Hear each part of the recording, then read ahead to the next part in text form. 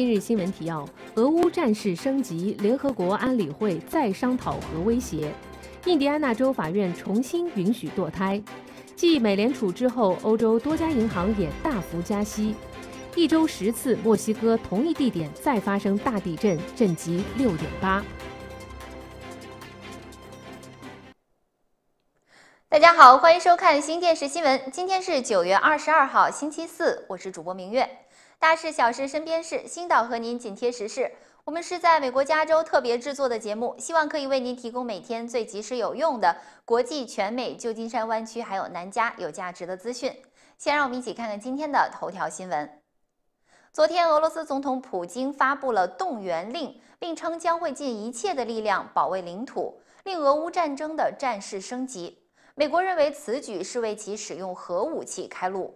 今天，联合国安理会再开会讨论俄乌局势。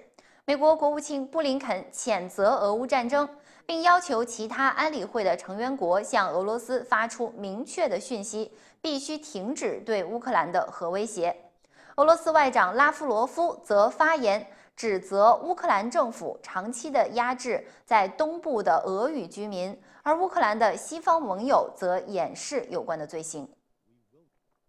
那普京的动员令令该国大量的男性迅速的离开俄罗斯。目击者表示，通往西南方容许俄罗斯人免签证入境的格鲁吉亚的边境检查站的车龙长达五公里，有人等了七个小时才越过边境。通往芬兰的交通流量也有所增加，但是芬兰政府表示仍然处于可控的范围。那另外呢，俄罗斯多个城市星期三有人抗议该动员令之后，人权组织估计已经超过一千三百人被捕。有报道指部分的被捕人士强制的征召入伍，而克里姆林宫的发言人说该做法并不违法。联合国大会正在召开，中国国务院。委员兼外长王毅也到纽约出席联合国大会，期间呢，与俄罗斯的外长拉夫罗夫进行了会面，就乌克兰问题交换了意见。王毅表示，中方将会继续秉持客观公正的立场，坚持通过和谈解决安全关切。拉夫罗夫表示，俄方仍然愿意通过对话和谈判解决问题。王毅又和欧盟的外交与安全政策高级代表博雷利会面，表示在俄乌战争当中，中方争取和平。那博雷利也提出对核扩散的担忧，呼吁中方发挥重要的作用。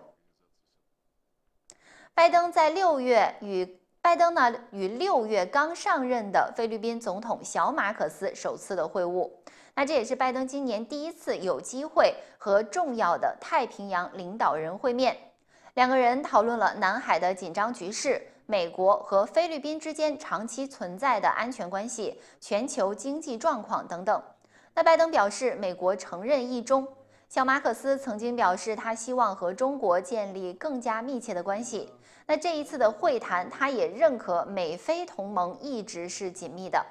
拜登在上任初期就非常的重视改善与太平洋国家的关系，因为他认为中国有威胁美国的经济和安全。那拜登昨天呢，也于联合国大会首次的提及了台湾的问题。拜登指，美国寻求维持台海和平稳定，奉行在过去的四十年来有助防止冲突的一中政策，反对任何一方单方面的改变现状。在对华的政策上，美中之间存在竞争，但是华府不寻求冲突或者是冷战。那对此呢，今天中国外交部的发言人赵立坚回应指，中国对美政策保持连续性及稳定性。拜登多次做出“四不一无意”的承诺，希望美方将美国领导人的表态落到实处。好，看完头条方面，来看一下美国国内方面的消息。在美国最高法院于六月裁决推翻了罗伊诉韦德案之后，印第安纳州就是第一个通过了堕胎的禁令，并且在九月十五号正式生效。那该州呢，将堕胎定为五级重罪。仅允许女性生命处于危险当中，胎儿被诊断为致命异常，或者是强奸、乱伦导致怀孕的情况下堕胎。那违反禁令的供应商呢，将被吊销执照，并最高被判罚款一万元，并且监禁六个月。但是在八月三十一号，大量的医疗机构还有组织对州和县政府提诉，所以今天法庭宣布暂停了实行堕胎禁令。联邦调查局于八月搜查了海湖庄园。检察官表示，在特朗普的佛罗里达度假胜地发现的大约一百份的文件被标记为机密，有些被贴上了绝密的标签，有些还可能涉及核武器。那特朗普就一直声称，他通过总统命令解密了这些文件，无论是身体上还是口头上的，或者是他现在所称的仅靠心灵感应的力量。那进行审查的法官 Raymond Derry 本周告诉特朗普的律师，他们必须提供有关文件已解密的证据，否则他会认为这些文件是没有解密。本周袭击美属波多黎各的风暴菲欧娜，导致全岛有数人死亡，电力中断和供水服务的中断。预计菲欧娜将会在周四晚上袭击美国东岸，增加东岸的海浪威胁。拜登已经批准发布飓风的灾难警告。菲欧娜将会继续向北移动，预计于周六早上在加拿大的新斯科舍登陆。届时呢，菲欧娜将大幅的减弱，为附近的地区带来阵风。好了，我们先休息一下广告，之后继续为您播报。今年工展会不在云端举行了，星岛工展会重回实体了。可以亲身体验丰富节目，有儿童才艺比赛和弯曲好声音，cosplay 大赛冠军更可获得总值一千元的奖品，有新厨房各款美食摊位幸运大抽奖，重回实体畅快淋漓。十月八日上午十点到下午六点，来红木城 Car House Square 二二零零 Broadway，由红木城火车站步行只需要三分钟。查询热线六五零八零八八八八八。好，欢迎回来。TikTok 啊，经常疯传一些令人难以想象的挑战。那今年已经有青少年因为参与这些挑战而生病、触犯刑事法律，甚至是丧命。近期另一个离谱的挑战也风起了，传出使用 NagQ 等非处方感冒药水来煎鸡胸肉，并命名该料理为 Sleepy Chicken，宣称有助于缓解感冒的症状。那美国食品及药品管理局就警告，这种煎煮的方式会导致药水的浓度增加，且在过程当中散发蒸汽，有机会导致民众摄入过量的药物，损害身体，严重的话甚至可能致命。好，我们来看一下科技方面。美国安全监管机构周四发布的文件表示，特斯拉自动车的车窗开关系统在检测到障碍物之后，可能无法正常的反应，其窗户会夹住人的手指，导致受伤。美国国家公路交通安全管理局认为，特斯拉的电动车违反了车窗联邦安全的标准，正式召回全美近一百一十万辆的涉事特斯拉汽车。来看一下财经方面。美国联储局加息四分三厘之后，英伦银行还有瑞士央行也为遏制通胀，今天也相继的加息。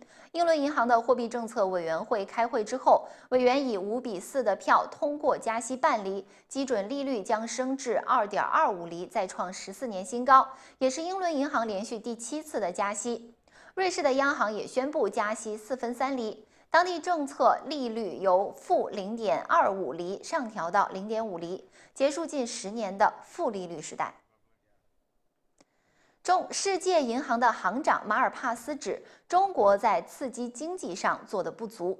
那中国外交部发言人赵立坚就回应，中国经济是世界经济增长的重要引擎和稳定器。世银今年六月份还曾经积极的评价中方调控有力的财政货币政策。他又拿美国做比较，指美联储多轮大幅加息，美元迅速升值，导致全球三十六种货币至少贬值一成，令大量的发展中国家被迫吞下了本币的贬值、资金外逃、融资，还有偿债成本的攀升、输入型通胀所导致的经济衰退等苦果。买房子不用付首付，真的是难以想象的美梦。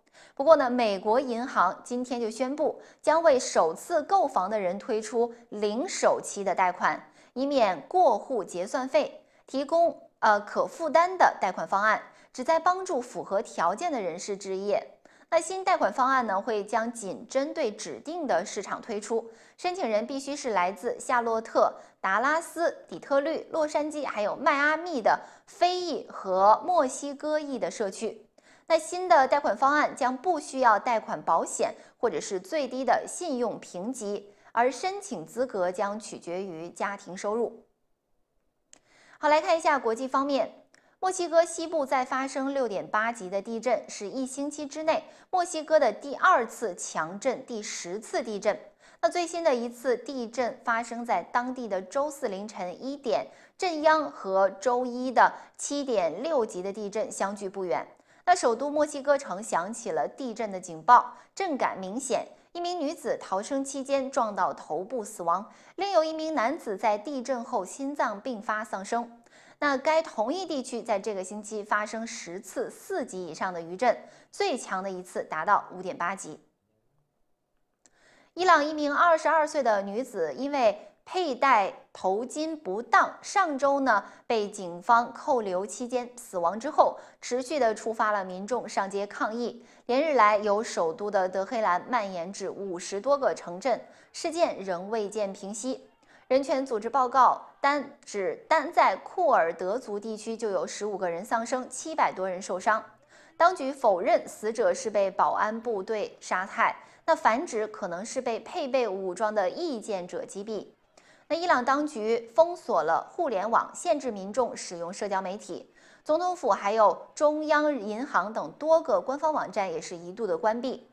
官方指因为有黑客声称会对官方机构发起网络攻击。美国国务院的副发言人帕特尔本月初的时候曾指，俄罗斯正在从朝鲜采购数以百万计的火箭和炮弹，用在乌克兰战场之上。那朝鲜的官方传媒今天早上发布消息，指朝鲜从来没有向俄罗斯提供武器或者是弹药，也没有计划这样做。那朝鲜同时警告美国，称要他闭嘴，那停止散播任何旨在抹黑和损害朝鲜形象的谣言。好了，以上就是今天新电视新闻的全部内容，我是主播明月，感谢您的收看，明天同一时间再见。